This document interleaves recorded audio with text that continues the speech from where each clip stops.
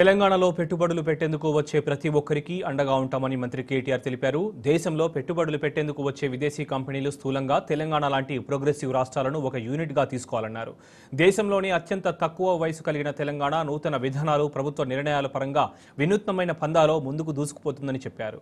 గత ఆరేళ్ళలో దేశంలోని అనేక రాష్ట్రాల కన్నా భిన్నంగా తనదైన రీతిలో తెలంగాణ పెట్టుబడులను ఆకర్షిస్తూ వస్తుందన్నారు. లైఫ్ సైన్సెస్ మరియు ఫార్మా రంగానికి సంబంధించి బలమైన ఈకో సిస్టమ్ రాష్ట్రంలో ఉందన్న కేటీఆర్ అమెరికా వంటి అగ్రరాజ్యం సైతం ఇక్కడి కంపెనీల ఉత్పత్తి చేసి కరోనా మందులపైన ప్రధానంగా ఆధారపడుతుందని వివరించారు. కరోనా నేపథ్యంలో పరిశ్రమలకు రాష్ట్ర ప్రభుత్వం అండగా నిలబడుతుందని భరోసా ఇచ్చారు. యుఎస్ ఐబీసీ ఇన్వెస్ట్మెంట్ వెబినార్లో మంత్రి కేటీఆర్ పాల్గొన్నారు.